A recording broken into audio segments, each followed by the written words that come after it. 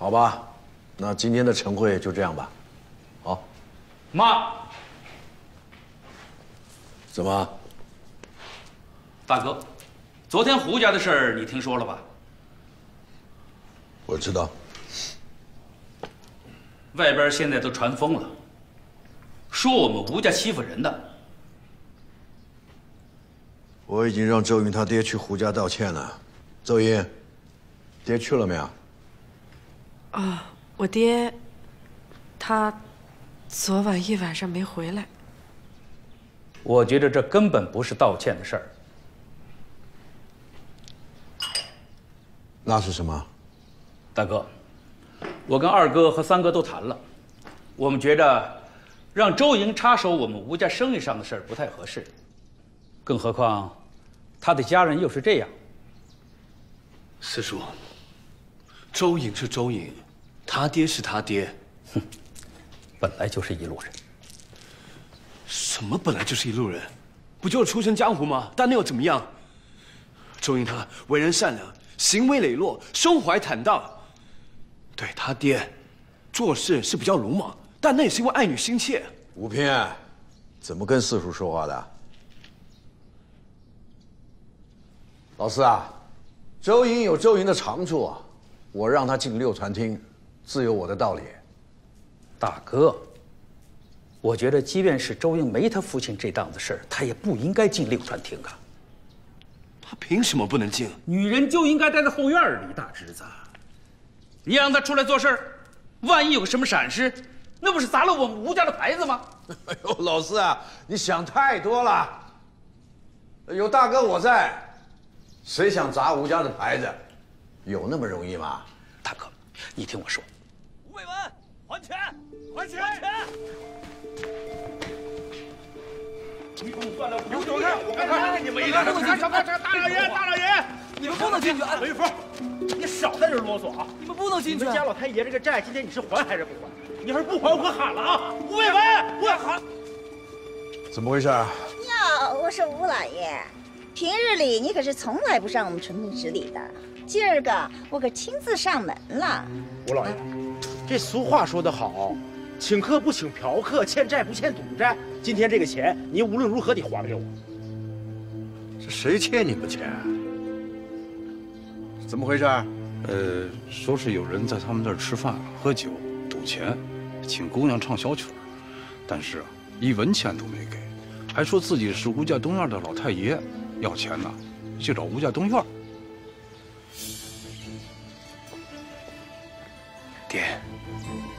要不你先进去，这边这边交给我来处理吧。哟，这么热闹，什么事儿啊？哟，大老爷，您可回来了，我们退延的账给结了吧。不着急，周老四啊，今天别想再躲了啊！谁躲你啊？谁躲你啊？你也不看看我是谁，我能躲你？我说四哥，嗯，你还欠我们三十两银子呢。你放心，赌债我欠，情债不欠，这是规矩。爹，你也在啊？你就把他们都给打发了呗。大哥，这位就是。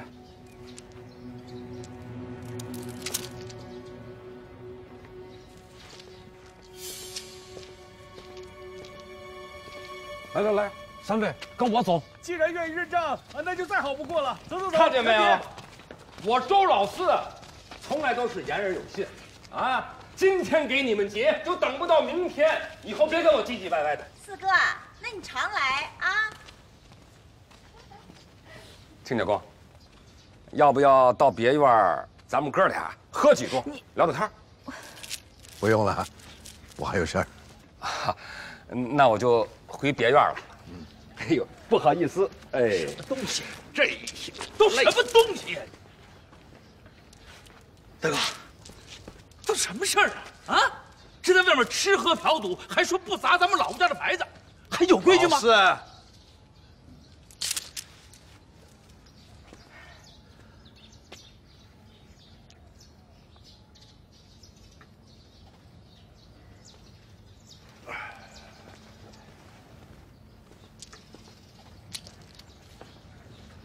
你跟你说一声啊，还有规矩吗？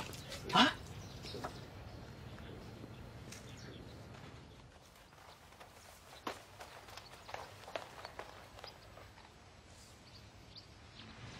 你怎么就不能改一改你的毛病？我有什么毛病啊？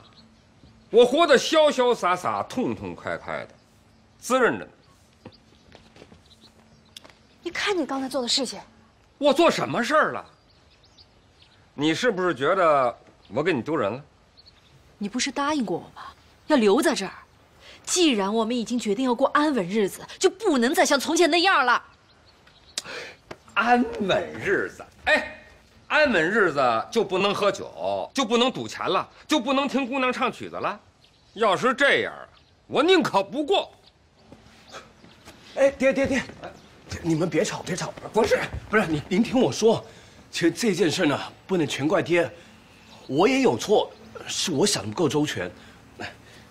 爹，这儿呢有五百两银子，您收着，啊，无论你想吃什么、喝什么、玩什么，你尽管去，但就就别赊账了。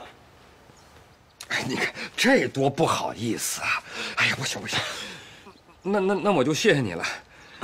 哎呀，还是女婿好啊。睡觉去喽。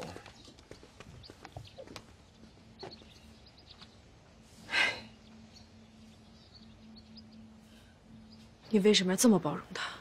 因为他是你爹。真对不起，等他睡醒了，我一定好好骂他一顿。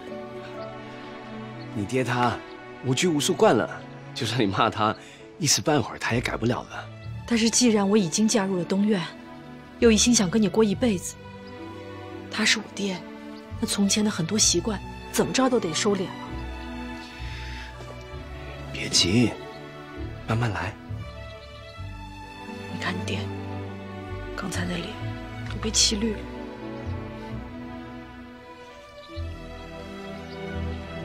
没事儿，有我在。那你说，爹会不会把我赶出流川厅啊？没事儿，有我在。